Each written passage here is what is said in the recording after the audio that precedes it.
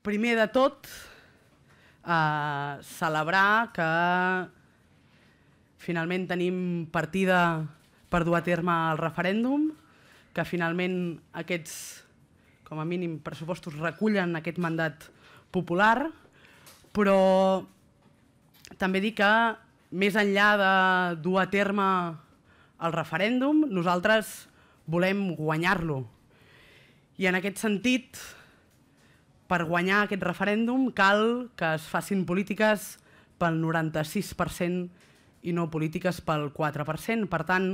quan hi ha qui diu, com Marta Pascal, que aquest projecte de llei de pressupostos ja no s'ha de tocar més, nosaltres diem que cal aconseguir que aquests pressupostos tinguin el necessari caràcter social perquè es converteixin en els pressupostos del 96% i no els del 4%. Per tant, que siguin uns pressupostos que s'acostin més a les necessitats socials de la gran majoria de la població. La partida pel referèndum ha estat una demanda de la CUP i, per tant, per això creiem que és positiu que hi sigui, tot i que també volem deixar clar, com hem dit, que eh, el referèndum es pot dur a terme amb o sense pressupostos, però que estigui ara mateix en aquest projecte de llei ja és un primer punt. Com vam dir el passat 12 de novembre, si no m'equivoco, al Artés,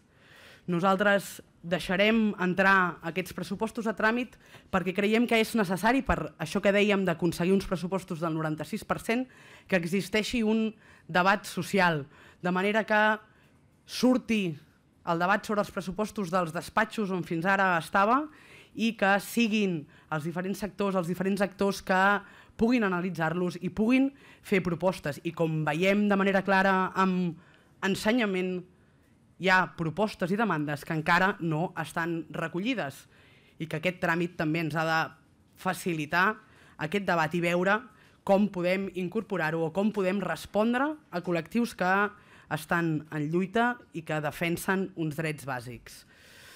En resposta també a declaracions d'aquest matí, aquests no són els millors pressupostos possibles. No són els pressupostos possibles que es mereix aquest país i això la Conselleria d'Economia ho sap. Perquè malgrat les limitacions imposades per l'Estat per Montoro i per l'autonomia imposada pel règim del 78 i malgrat les imposicions de la Unió Europea i de la Troika, hi ha marges que podem explorar i no es fa de fet, lamentem que encara no s'hagi tensat fins al límit de l'autonomia per poder dur a terme aquests pressupostos. Ho vam dir i ho seguirem dient, aquests no són els nostres pressupostos. Uns pressupostos subordinats a les imposicions de l'Estat i de la Troika no ho són i uns pressupostos que no explorin tots els marges possibles no són els nostres pressupostos. I veiem que es pot explorar els marges si veiem la proposició si analitzem la proposició de llei entrada ahir, conjuntament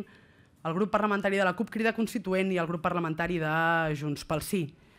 De fet, ens preocupa que més de 30 anys després de l'autonomia cap govern ni cap grup parlamentari